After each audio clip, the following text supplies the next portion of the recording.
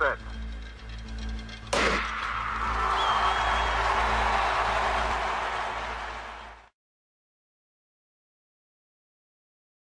What's going on, you guys? It's Keinan Briggs, athlete, coach, and mentor. We're going to talk about personal trainers, speed coaches, and track and field coaches.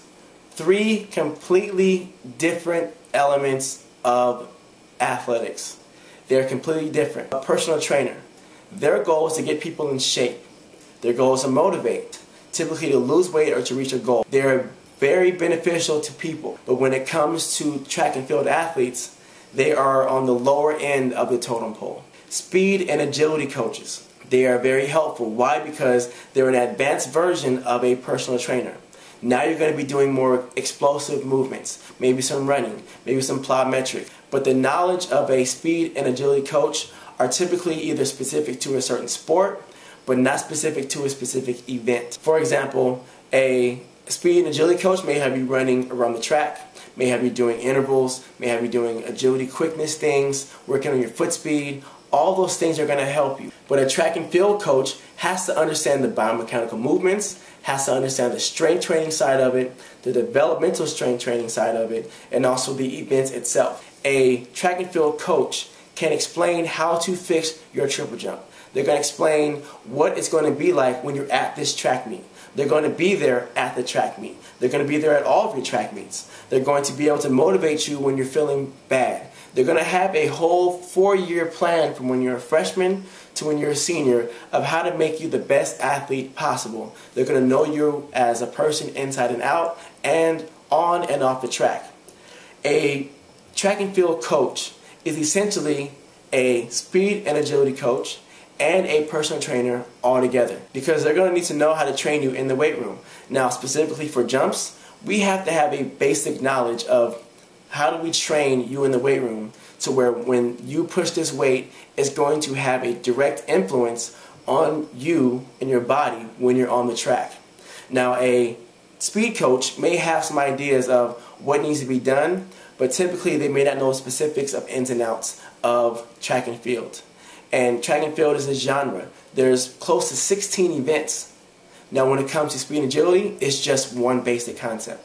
Now there are many instances where you could have three separate coaches. All these things can work, they could. But typically, there's not enough hours in the week, there's not enough days in a week to where you can actually balance your training with rest and homework and etc. When you have multiple coaches, there can be a conflict. And many times the conflict isn't with you, it's with the message and the philosophy.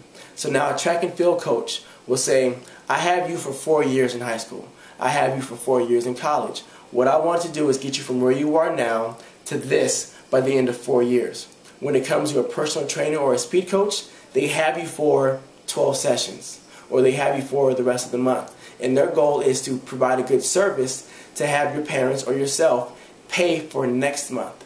And there's a huge difference of why they're there. Now, there are some good coaches out there that are speed coaches, and there are some great personal trainers. But trying to bring a personal trainer or a speed coach into a track and field environment, they become lost, they become flustered because the, the mentality of track and field is completely different than personal training or speed training. Now, when it comes to rest ratio, when it comes to weight training, Olympic lifts, you can go on and on with what you believe in as a personal trainer, as a, as a speed coach, and also a, a track and field coach. They're completely different. My suggestion to you is you want to go with the person that has the most ability to take you as far as possible. Now, don't get me wrong, you could have multiple coaches and you could be very successful with it. You're going to find your own way of handling things. However, where the athlete always tends to fail, typically an athlete tends to overtrain. Let's say your track and field coach has practice during season five days a week.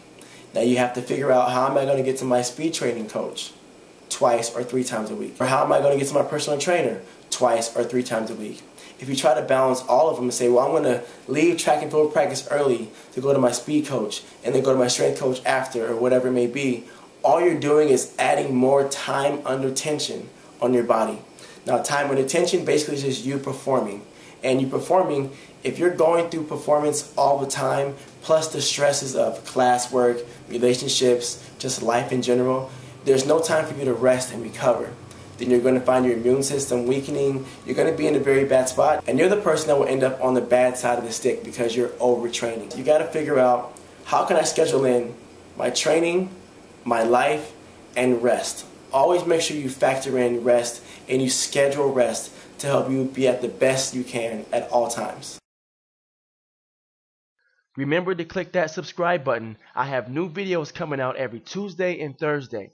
For very detailed and exclusive information, make sure you visit KeinanBriggs.com.